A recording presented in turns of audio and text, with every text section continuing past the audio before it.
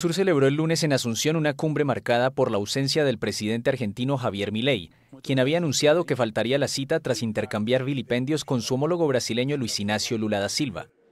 Los mandatarios presentes, el brasileño Lula, el uruguayo Luis Lacalle Pou, el boliviano Luis Arce y el anfitrión Santiago Peña, lamentaron la falta de integración del bloque regional y una tendencia a verse menoscabado por diferencias ideológicas. Y el uruguayo Lacalle Pou le reclamó a Milei su ausencia en la cumbre. No solo importa el mensaje, es muy importante el mensajero, y obviamente no voy a menospreciar a nadie, pero si el Mercosur es tan importante, acá deberíamos estar todos los presidentes. Yo le presto importancia al Mercosur. Y si realmente creemos en este bloque así, deberíamos estar todos.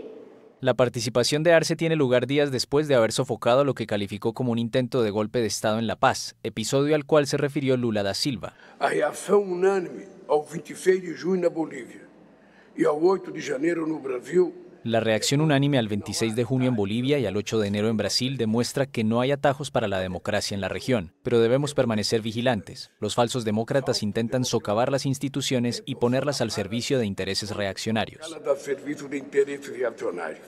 El bloque regional se encuentra en un momento difícil, con un acuerdo de libre comercio con la Unión Europea estancado que prevé eliminar la mayoría de los aranceles entre las dos zonas, y una negociación con China llena de obstáculos debido a que Paraguay carece de relaciones con el país asiático porque reconoce a Taiwán como la República de China, algo que Pekín no tolera.